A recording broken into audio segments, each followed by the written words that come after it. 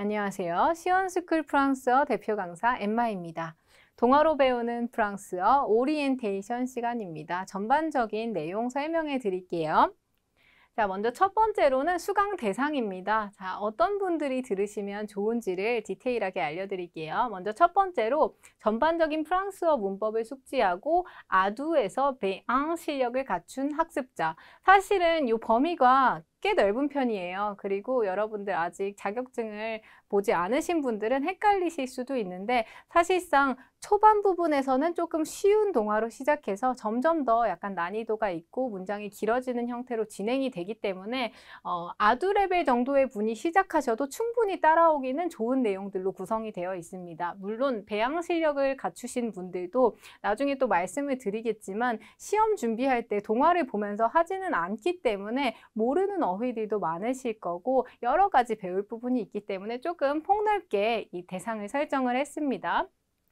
자, 그 다음 2번. 초중급 문법 학습 후에 문법이 적용된 다양한 문장들을 접하고픈 학습자. 그래서 여러 가지 그 안에 대사들도 나오고 묘사하는 내용들도 나오는데 이제 긴 문장으로 여러분들 배운 내용을 적용해 보시기에 정말 좋은 강의입니다. 세 번째, 동화를 통해 재미있게 프랑스어를 공부하고 싶은 학습자. 여러분들 잘 아시는 동화들이 등장할 거기 때문에 더 재미있게 공부를 하실 수 있을 거예요. 그리고 마지막으로 프랑스어 문장을 읽고 들으면서 균형 잡힌 배양 실력을 갖추고 싶은 학습자. 제가 위쪽에서 한번 말씀을 드렸지만 시험 대비용만 쌓이다 보면은 조금 사실은 프랑스인들은 정말 많이 쓰는 어휘인데 놓치고 가는 것들이 있을 수 있습니다. 그래서 이 동화 강의를 통해서 그런 것들 채워주시면 참 좋을 것 같습니다. 자, 이어서 강의 구성입니다. 이번 강좌는 조금 독특하게 저와 그리고 모기안 쌤이 강의를 같이 진행을 할 거예요. 그래서 제가 먼저 강의를 읽기 및 주요 표현 학습들을 다루는 내용들을 먼저 보여드릴 거고 그 다음에 이제 모기안 쌤, 원어민 선생님의 전체 리뷰가 있을 겁니다. 어, 제가 듣기로는 원어민 선생님 어, 수업을 도전을 해보셨다가 너무 어렵게 느껴져서 포기하시는 학생분들이 있다고 들었어요. 그런데 이, 어, 이 강의에서는 제가 먼저 설명을 드릴 거기 때문에 어휘를 먼저 배우고 나서 들으면 하면서 조금 더 이제 두려움을 떨쳐내고 강의를 들으실 수 있는 그런 시간이 될 겁니다. 자, 구체적으로 들어가 볼게요. 먼저 제가 진행하는 강의에서는 여기서는 파트가 많아 보이지만 그렇게 많은 파트는 아니고요. 오늘의 작품 파트는 먼저 동화 제목을 간단하게 설명을 해드립니다. 동화 제목 그리고 바로 어휘 파트로 들어갈 거예요. 그래서 저는 주로 어휘 부분에서 이제 동화에 나오는 의미로도 설명을 드리지만 그 밖에 일상생활에서 어떤 식으로 이 단어가 또 쓰이는지도 여러분들에게 중요한 내용들 하나하나 설명을 드릴 거고요. 그리고 저는 형용 형용사 나오면 같이 동사라던가 파생된 것들 같이 설명을 드리니까 여러분들 정말 재밌게 공부를 하실 수 있을 겁니다. 자, 그리고 여러분들 사실 제가 마지막에 항상 강의 마무리할 때 복습도 해주시고 이렇게 말은 하긴 하지만 너무 바쁘시다 보니까 복습할 시간이 많이 없는 거 저도 알고 있습니다. 그래서 강의 내에 동화 청취를 두 번 넣어서 먼저는 단어를 학습한 후에 내가 이것이 들리는지 한번 나를 테스트 해 보면서 듣는 시간을 가지고 그 다음에 네 번째 오늘의 동화 학습 파트에서는 디테일한 내용들을 제가 설명을 해드릴 거예요. 문법적인 사항과 표현적인 부분들 꼼꼼하게 설명을 해드릴 텐데 그 부분에서 학습을 완전히 한 후에 사실 이것도 정말 중요한 부분이에요. 다시 한번 들어보는 시간을 가질 겁니다. 여러분들이 막 파일로 받아 받아가지고 따로 들으려고 하면 상당히 번거로울 수도 있고 또 바로바로 안 하게 되시는 분들 많을 거기 때문에 이렇게 두 번 여러분들 바로 들어보실 수 있도록 준비를 했고요. 그 다음에 마지막으로 다 들은 다음에 이제 배웠던 중요한 문법적인 사항들 빈칸 채우기 하면서 내가 잘 기억하고 있는지 다지기 하는 시간까지 가질 겁니다. 이렇게 쭉 구성이 되어 있는데 샘플 강의 보시면 이게 뭐 많은 내용으로 들어있는 들어있다기보다는 컴팩트하게 중요한 내용들만 여러분들이 한 번에 빨리 학습하실 수 있도록 구성을 했다라는 거 느끼실 수 있을 겁니다. 자, 그래서 저와 보통 한 동화당 두 강좌 또는 세 강좌 정도로 같이 공부를 한 뒤에 그 다음에 Morgane 쌤께서 이제 résumé를 해주시는 강의를 해주실 거예요. 어떤 식으로 구성이 되냐면 첫 번째로는 le résumé 요약이라고 해서 저는 여러 페이지를 거쳐서 이제 동화들을 설명을 드리는데 그거를 간단하게 요약해서 이제 한 페이지로 어떤 내용인지를 한눈에 보실 수 있도록 이제 원어민 선생님의 프랑스어로 원어로 이제 설명을 드릴 겁니다. 그래서 그 안에는 사용했던 단어들도 있고 사용하지 않았던 단어들도 섞여 있는데 그것을 보시면서 여러분들이 아 내가 잘 이해를 하고 있구나 하는 것들 다시 한번 확인해 보실 수 있고요.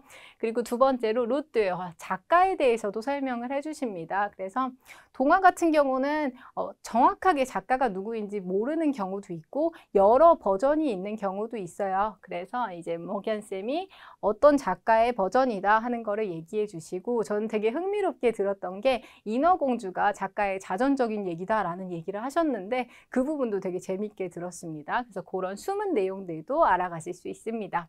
세 번째, la moralité 하면은 동화는 사실 항상 교훈이 있죠. 그래서 이 동화에서 말하고자 하는 교훈은 어떤 것이다 하는 부분들도 이제 프랑스어로 이제 동화를 얘기하다 보면 이제 아이들에게 항상 교훈을 마지막에 넣어줍니다. 그래서 그 부분에 대해서도 언급을 해주실 거고요. 마지막은 배웠던 것들 잘 기억하라는 의미에서 십자 말풀이로 레모 콰제, 콰제는 교차된이라는 뜻이에요. 이미 배웠던 어휘들을 십자 말풀이 시간을 통해서 다시 한번 떠올리고 복습해보는 시간 가질 겁니다. 자, 그러면 전반적인 강의 특징도 설명을 해드릴게요. 첫 번째로 유명한 동화들로 쉽고 재미있는 프랑스어 학습. 대부분 아는 동화들을 사실 프랑스어로 습득하면 되게 색다르게 느껴지는 것들도 있고 그리고 사실 아는 동화라 하더라도 아, 프랑스어로는 이렇게 말하는구나 하는 것도 있겠고 프랑스인들은 사실 그 동화들을 다 기본적으로 알고 있겠죠. 그러니까 우리들도 학습할 때 이런 유명한 동화들로 재미있게 학습을 하면 좋겠다라고 해서 대표적인 것들로만 선정을 했습니다. 두 번째, 다양한 문장으로 문법과 독해 실력 다지기. 이 안에는 여러 가지 시제들이 쓰이고요. 그리고 대사들도 등장하고 명령문도 등장합니다. 그래서 그런 것들을 통해 조금 더 폭넓게 여러 가지 형태로 이제 문법과 독해 실력을 다져나갈 수 있습니다. 세 번째, 동화 강의에서만 접할 수 있는 다양한 어휘 및 표현 학습. 그래서 뭐 예를 들면 왕이나 왕비, 공주 뭐 그런 내용들이 나오기도 하고 또는 동물들의 이야기들이 나오기도 하는데 그런 부분들은 사실 동화 강의 외에서는 접하기가 조금 어려울 수 있겠죠. 네 번째, 원어민이 직접 녹음한 음성 파일로 오디오북까지 한 번에 그래서 여러분들 이거 다 듣고 나셔도 강의 듣고 나서도 이제 오디오 파일로 쭉 복습하실 수도 있고 이제는 어 내가 얼마만큼 편하게 감상할 수 있는지 이미 공부한 게 얼마나 내가 습득이 되었는지를 확인하실 수 있습니다. 그래서 청취 실력을 올려줄 수 있겠죠?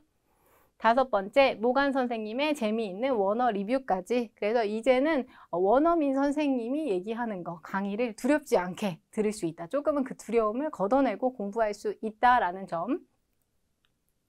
자, 마지막 수강 효과입니다. 다양한 문법이 활용된 문장을 통해 초중급 문법을 총정리하고 독해 실력을 높일 수 있다. 그래서 여기서 초중급 문법이라고 말하는 건 초중급 문법 강좌 외에도 중고급 문법을 들으셨어도 상관없어요. 초급이나 중급 정도 레벨의 그런 배웠던 문법들을 조금 더 총정리, 탄탄하게 하고 독해 실력을 높일 수 있다라는 거.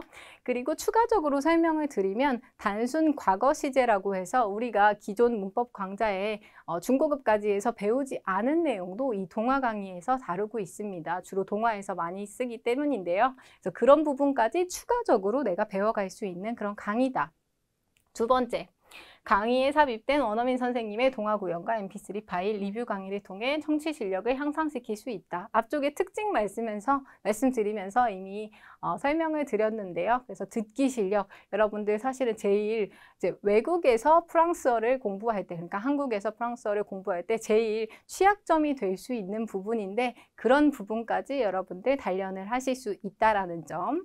세 번째, 친숙한 동화를 통해 재미있고 효과적으로 프랑스어를 공부할 수 있다. 여러분들 내용 보시면 어 이거 내가 봤던 동화인데 기억이 안 나는 결말도 있, 으실 거예요. 그리고 또는 안 보신 동화도 있을 거고 프랑스에서는 상당히 유명하지만 그래서 재미있게 여러분들 공부하시기 바라는 마음에서 열심히 준비를 했습니다. 자, 그래서 여기까지 동화로 배우는 프랑스어 전반적인 강의 내용 설명드렸고요. 여러분 오리엔테이션만 보지 마시고 조금 어 내가 이걸 해야 되나 말아야 되나 고민이 되시면 무조건 샘플 강의 한번 보시면서 아 요거는 내가 들으면 딱 좋겠다 하는 거를 한번 체크해 보시기 바랍니다. 그러면 여러분 모두 강의실에서 만나기 바라면서 저는 여기서 인사드릴게요. 짜오!